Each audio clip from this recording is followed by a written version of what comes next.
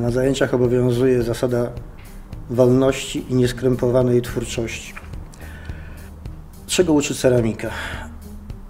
Ceramika uczy pokory wobec materii, uczy cierpliwości i planowania działań.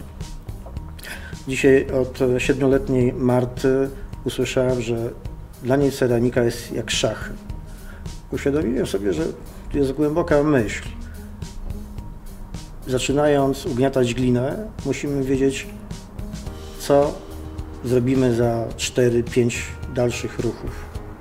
Słuchajcie, jeżeli chcecie przeżyć mm, nieskrępowany akt twórczy, przyjdźcie, zobaczcie, e, jak wyglądają nasze zajęcia.